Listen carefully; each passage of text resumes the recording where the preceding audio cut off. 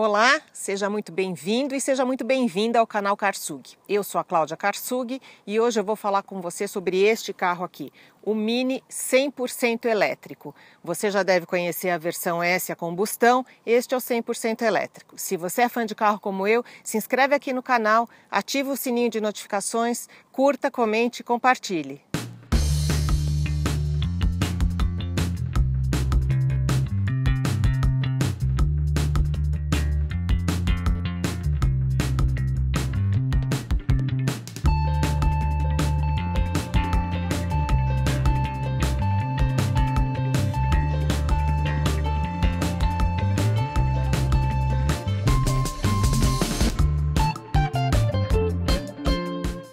Como eu falei para vocês, hoje a gente vai falar desse carro aqui, o Mini.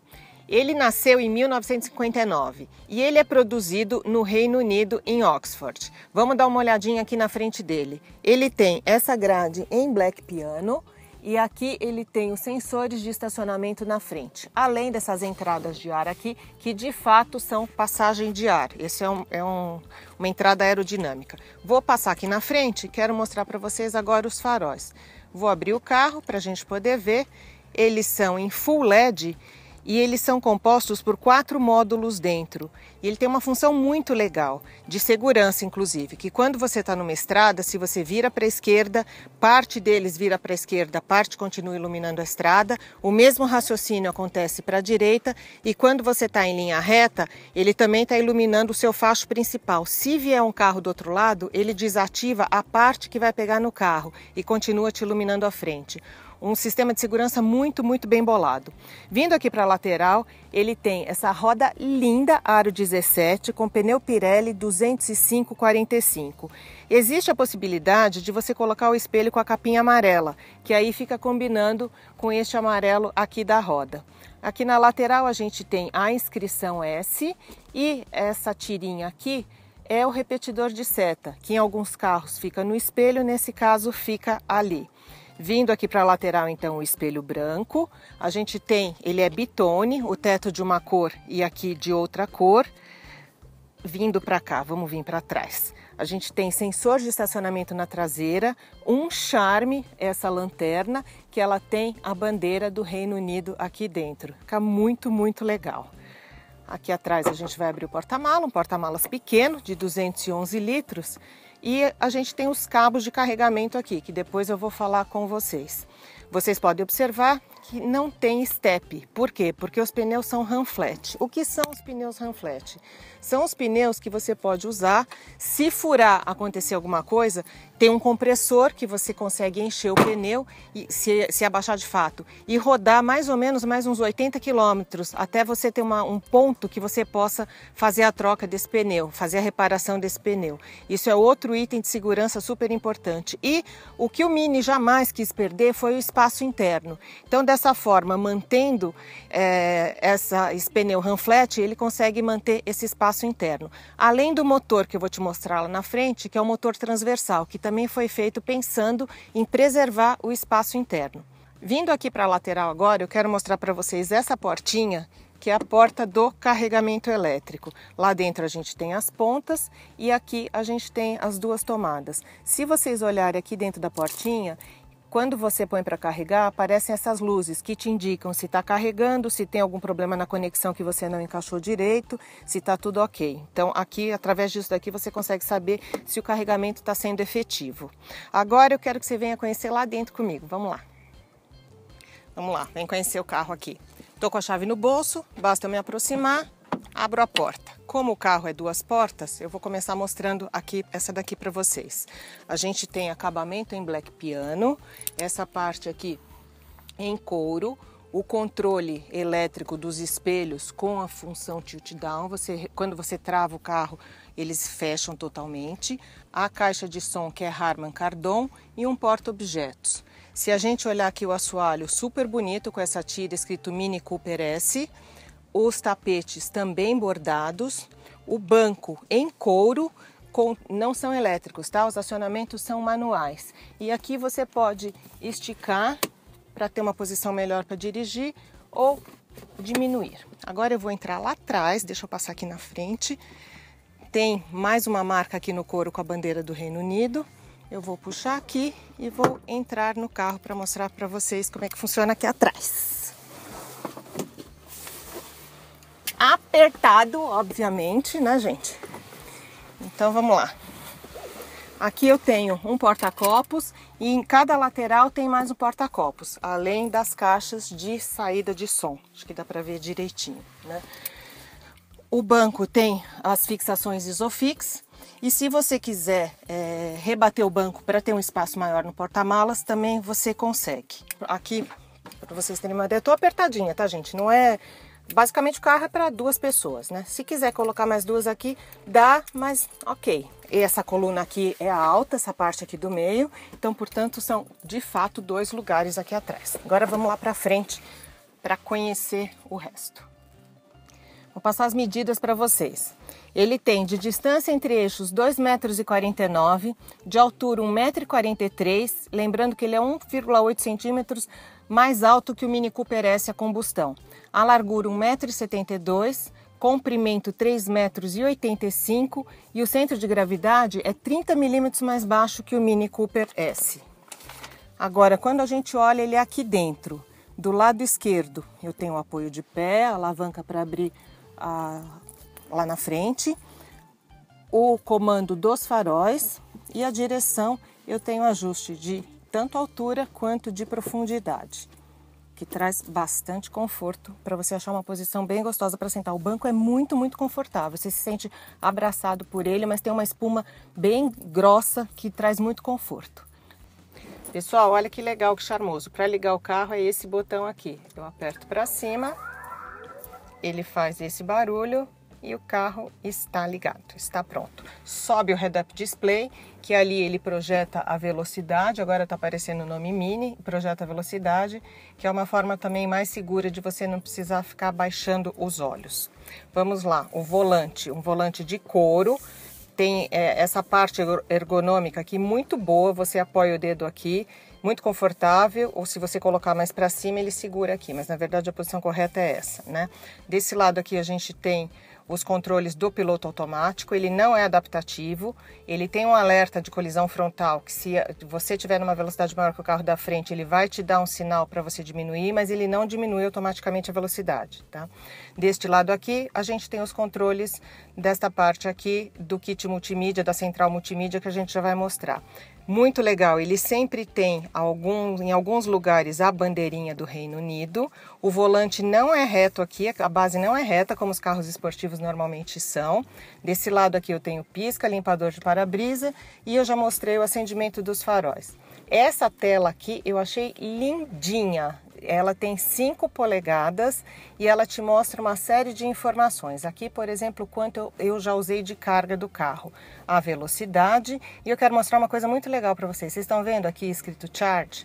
Se eu apertar um botão aqui do painel é, eu desabilito, deixa eu fazer aqui, depois eu mostro em detalhes. Eu desabilito aqui, então o que acontece? A regeneração de energia acontece quando eu freio e se eu ativar esse botão, quando eu tiro o pé do acelerador, ele já começa a frear. Tem gente que não gosta, que não se acostuma com essa desaceleração, então ele desabilita. Mas lembre-se que é uma forma de você reaver energia para o seu carro. Vindo aqui para o lado, a gente, ah, detalhe importante, são seis airbags, mesmo num carro desse tamanho, são seis airbags. Aqui todo o acabamento em black piano e aqui o, o, o, meio, gente, é um show, né? Não tem como não apreciar um visual desse. Essa bola é característica do Mini, né? todos os Mini que você conhece você pode ver que vão ter essa bola. E ela tem uma central multimídia muito, muito inteligente. Então, que eu posso mexer tanto touch como eu posso mexer por aqui, ó, gente. Nisso daqui, que vocês veem que tem um meio que um, um trackpad aqui. Então, vamos lá, vou mexer aqui. Eu tenho concierge já vou mostrar. Eu posso usar o navegador, inserir endereços. Eu tenho a Central Mini, o meu Mini, que é muito legal, que você usa tanto por aqui quanto pelo aplicativo. Eu baixei no meu celular, depois eu vou mostrar a tela para vocês, que você consegue acessar todas as funções daqui através do aplicativo. Então, por exemplo, eu posso, mexendo aqui, configurar o sistema, eu posso ver os conteúdos do menu principal, posso programar a recarga. Se de repente você acha que a sua, você sabe que a sua energia custa mais barato, sei lá, a partir das duas da manhã, você pode programar a recarga a partir desse horário. Você pode definir o perfil do motorista e aqui você tem vários status do veículo. Então vamos lá. Indicador de anomalia nos pneus ativado, você pode ativar ou desativar. Você pode aqui dos pneus, né? Aqui não tem nenhuma entrada. Aqui vamos ver lá históricos de serviço, fluido de freio, momento da revisão. E aqui o Teleservice Report que ainda não foi efetuado. Eu vou mostrar depois para vocês. Vamos voltar. Voltando para cá, perfis do motorista tecnologia. Aí, além do meu Mini, o que, que eu tenho aqui? Aplicativos que você pode usar, que você pode... Ah, vamos voltar lá só para mostrar uma coisa para vocês. Serviço de concierge. Vamos tentar fazer uma chamada e ver como é que funciona. Bem-vindo a Mini Connect, meu nome é Fábio, em que posso ajudar? Oi, boa tarde, meu nome é Cláudia, tudo bem? Tudo bem, a senhora? Tudo bem. É o seguinte, eu sou jornalista, eu estou fazendo um vídeo avaliando o Mini Cooper elétrico e estou mostrando o serviço de concierge. Eu gostaria que você me ajudasse falando, a partir da minha localização, por favor, qual é o posto de recarga mais próximo que eu tenho? Um momento. Muito obrigada. Aqui me aparece um posto de recarga 3 quilômetros e meio, mais ou menos, senhora. Na estrada, na Castelo? Na rodovia Presidente Castelo Branco. Perfeito. É sentido São Paulo ou sentido interior? Sentido São Paulo. Perfeito. Deve ser dentro de algum posto de gasolina, né? Aparece o nome para você do, do posto, não? Uh, me parece uh, ponto de recarga BMW do Brasil e Fazano. Tá, ok. Eu, na hora que eu voltar, eu procuro. A gente só queria testar mesmo o funcionamento. Muito obrigada, viu? Boa tarde. Obrigado, senhora, por utilizar o BMW Connected Drive. Tenha uma ótima tarde. Igualmente. Tchau, tchau. Aí eu encerrei. Posso usar também o Alexa, Amazon, se você tiver o Amazon Alexa. E uma coisa muito legal aqui, vocês estão vendo esse círculo aqui? Isso daqui me mostra com a autonomia que eu tenho deste carro até onde eu posso circular. Então, por exemplo, se você vai fazer uma viagem de São Paulo a Ribeirão Preto, obviamente você não vai chegar até Ribeirão Preto. Você vai ter que parar para recarregar. Então você usa o concierge para saber onde é o posto, você programa, você sabe que você tem um raio de 50 quilômetros aqui tranquilo que você pode andar. Você pode dar o zoom para ver onde a gente está, até onde vai. E a hora que você estiver chegando perto desse círculo, é bom que você se programe antes, você precisa recarregar o carro. Então, te dá todas as informações. Isso você também pode ver através do app da Mini. Super interessante. Lembrando que a autonomia informada no ciclo europeu é de 234 km, mas você pode mudar isso. De que forma? Se você usar o modo Green, aqui ele tem modos de direção. Então, por exemplo, se você colocar no modo esporte, ele vai gastar mais energia. Se você colocar, vamos lá, peraí, no modo mid, é, seria uma forma equilibrada. E você tem o modo green. Você ativando esse modo green, ele ativa aquele pedal onde você recupera energia e também ele desliga o ar condicionado. Então você não tem condição nem de aquecer nem de resfriar o carro, mas você ganha autonomia. Numa situação que você precisa disso, é super interessante. E aqui também ele te mostra a forma da sua condução, se você está guiando de uma forma mais econômica ou menos. Eu achei, além de obviamente muito funcional, cheio de situações de, de segurança aqui, de, né, de, itens de segurança, eu achei um charme. Vindo para cá, o ar-condicionado Dual Zone. Aqui, então, esse daqui é o botão que eu falei para vocês, que você ativa no painel é, a baixa recuperação de energia ou a alta recuperação de energia.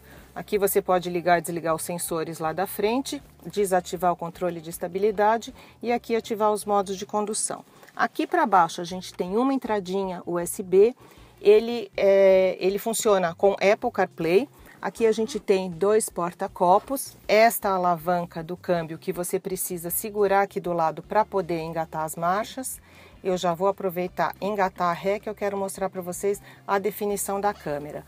Vamos dar uma rezinha para que vocês vejam a definição da câmera, muito, muito boa. E ele tem alerta visual e alerta sonoro também do, de obstáculo quando você está para trás. Para você parar o carro, basta você apertar aqui o P. O freio, se você quiser mexer, é aqui, mas ele já freia automaticamente. E como eu disse lá na central multimídia, aqui também você tem os acessos da central multimídia. Eu tenho um espacinho aqui, o apoio de braço, super confortável, com um porta-objetos aqui dentro. Também gostei bastante. Em termos de espaço, gente, ele é muito inteligente, que é o que eu falei lá. Ele foi criado no pós-guerra, esse carro nasceu no pós-guerra e ele tinha que ter espaço. Então ele tem é, uma inteligência muito grande aqui dentro para oferecer isso. Acabamento em black piano, as saídas de ar-condicionado. Olha o porta-luvas que bonitinho. Ele é fixo lá e só a porta dele abre e fecha. Agora, aqui em cima eu tenho também este pianinho de, de opções. Deixa eu mostrar antes aqui uma coisa que eu amo que é espelho com luz, ambos os lados, tanto para motorista quanto para passageiro, espelho com luz. Aqui a gente já tem o acesso das luzes.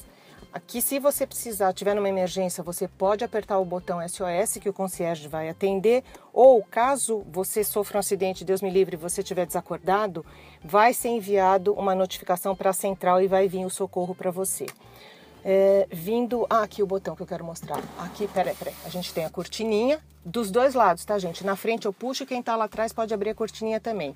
Mas a parte que abre do teto é essa. Basta eu dar um comando aqui, ele abre. Tá um dia bonito, bem gostoso para isso. E do outro comando, ele fecha e deixa um pedacinho aberto. Aí, para fechar de vez, eu aperto mais uma vez aqui o comando. E se eu quiser, fecho de novo a cortina para deixar escurinho aqui dentro. Gostou? Deixa seu like no vídeo, me fala o que, que você está achando. O carro é demais, né? E quero saber o que, que você acha também. Vou, vou colocar uma pergunta aqui. Esse carro é um carro de mulher ou é um carro para homem? Ele é esportivo, mas ele tem uma pegada muito feminina. Tem muita mulher que usa esse carro. Deixa aqui falando o que, que você acha. Agora eu vou te convidar para ir lá ver o motor. Vamos lá conhecer o motor. Vem comigo.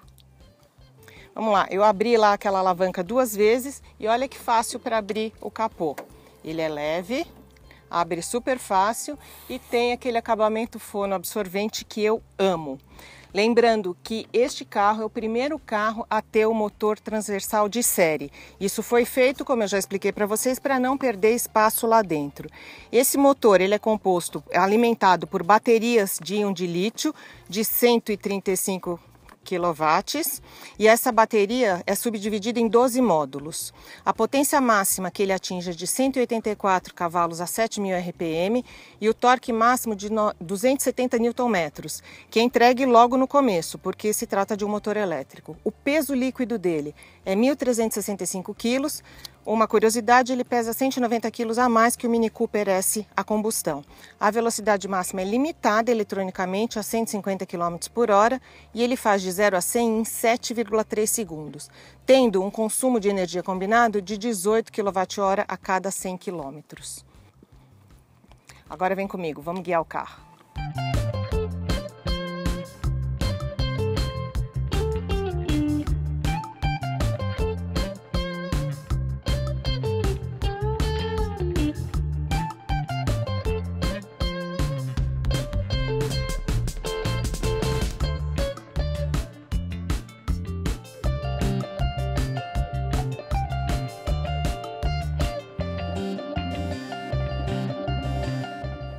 Vamos lá? Vamos dirigir? Vamos conversar um pouquinho enquanto isso. Como eu falei para vocês, esse carro aqui foi lançado em 1959, depois do pós-guerra, e veio evoluindo muito, obviamente, de lá para cá.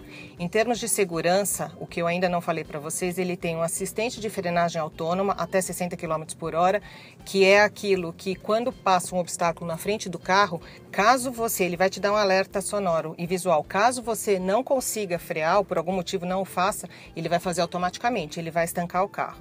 Além disso, quando você está numa rodovia com as faixas, ele tem um alerta de permanência em faixa. Se você se distrair, dormir alguma coisa, ele vai te dar um sinal é, aqui no painel e vai também vibrar o volante para que você fique atento e possa voltar para sua faixa. É, além disso, que, que é uma coisa legal para contar para vocês. Eu falei que o peso dele aumentou 190 quilos porque ele tem as baterias, né? Porém, as baterias formam um T aqui, até lá atrás. E o que é legal é que os módulos, você pode, ela é feita de vários módulos, porque se você tiver problema em algum, não condena todo o sistema. O, a concessionária tem o programa de scan, ele escaneia, vai descobrir onde está tendo o, o módulo que está dando problema e vai poder ser reparado. Então isso te traz também bastante tranquilidade e economia, né? não é que você precise trocar tudo de uma vez. Como eu já falei para vocês, eu conversei com os executivos ontem, eles me falaram que tem casos de baterias que duraram 10 anos, não precisaram nem 8 anos, e depois disso se fala em reutilização. De que forma? Reutilização nas casas, por exemplo, para iluminar a casa. Você acaba usando de outra forma a bateria para para a vida útil dela, né? Você acaba usando de outra forma. É, eu falei para vocês que o torque é entregue imediatamente. A gente vai pegar um pedaço de estrada e eu vou mostrar isso para vocês. Eu perguntei para os engenheiros sobre a suspensão do carro, porque quando a gente pensa num carro importado vindo para o Brasil, eu vou confessar que para mim dói o coração. Imaginar um carro que os engenheiros tiveram tanto trabalho para projetar, suspensão e colocar, não aqui onde a gente está, que a gente está num lugar com asfalto, mas em São Paulo, né, de uma forma geral. Aí eu obtive uma informação que eu fiquei muito feliz, que o carro é projetado não só para andar no asfalto, mas ele é projetado para o leste europeu, para a América do Sul, para vários lugares onde o asfalto não é liso, então ela não sofre tanto. Eu vou confessar que eu tinha a impressão, antes de andar no Mini, de que fosse muito dura a suspensão, que ela batesse muito. E não é. Ela, obviamente, não é uma suspensão macia, mas ela é confortável, não incomoda não. E como eu estava falando para vocês que carro elétrico, o torque é entregue logo no começo, eu vou acelerar num pedaço aqui para que vocês consigam tentar passar para vocês a sensação do que é acelerar o carro e você vê que ele sai correndo. Então vamos só passar essa curvinha aqui, não pegar, passar a lombada, aliás, para a gente poder mostrar como funciona. Gente, a dirigibilidade é ótima. É um carro muito confortável, estou super bem sentada, muito, muito, muito, muito, muito conforto. Ó, eu tirei o pé, está acionado a, a, o modo de recarga, né? Então, quando eu tiro o pé, ele já começa a brecar. Então, vou acelerar na subida para vocês verem. Gente, é incrível, o carro responde imediatamente. Olha que delícia. Em pouquíssimos segundos eu estou a 90 por hora. Quando você precisa numa ultrapassagem, alguma coisa, a resposta é imediata. É muito, muito gostoso de dirigir sabendo que você tem a resposta imediata. Você não tem aquele delay do motor a combustão. Agora aqui o app que eu falei para vocês, você baixa na App Store, ele chama Mini e aí você tem uma série de funções que você pode ativar por aqui. Por exemplo, ele está mostrando que eu estou com uma janela aberta, ele me mostra o estado de carga e quanto eu tenho ainda para rodar. Eu posso travar o carro, destravar o carro, vamos destravar o carro, ó, destravar o veículo. Vou usar meu Touch ID aqui, ele está enviando a informação para o carro.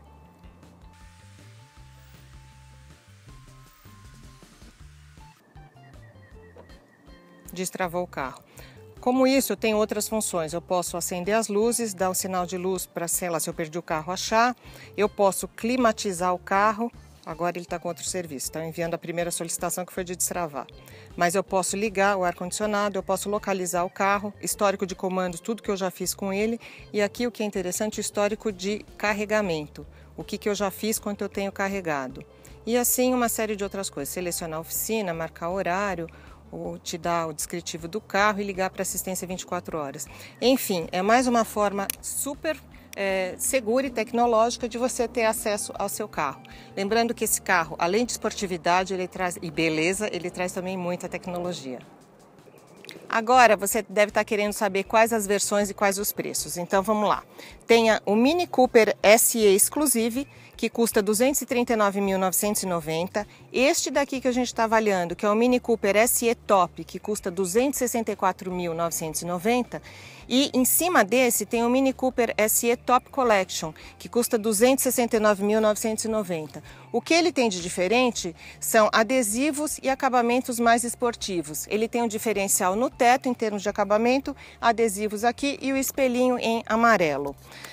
Esse carro oferece, essa é uma pergunta importante que todo mundo quer saber. E as baterias, quanto tempo tem de garantia? Elas têm 8 anos de garantia ou 100 mil quilômetros rodados. Sendo que eu conversei com, executivo, com os executivos da marca e eles me disseram que no Reino Unido tem carros já com 10 anos funcionando com a mesma bateria. Então, esse é um dado super importante para quem tem essa preocupação com as baterias. E tem mais, tem condições especiais do lançamento do carro agora. Quem comprar esse carro agora vai ganhar o Mini Wall Box, que é para você instalar na sua casa para você ter o carregamento na sua casa, o mini service, inclusive, que é o serviço de concierge que o carro oferece com três anos de manutenção grátis e uma condição especial de financiamento, que a primeira parcela só em janeiro de 2022. As parcelas de agora até lá são pagas pela Mini. O que, que você achou? Vale a pena? Gosta do carro? Vai fazer um test drive que ele é muito, muito legal. Não esquece de se inscrever no canal, ativa o sininho de notificações, curta, comente, compartilhe e me deixa aqui seus comentários. Eu te espero no próximo vídeo. Tchau, tchau!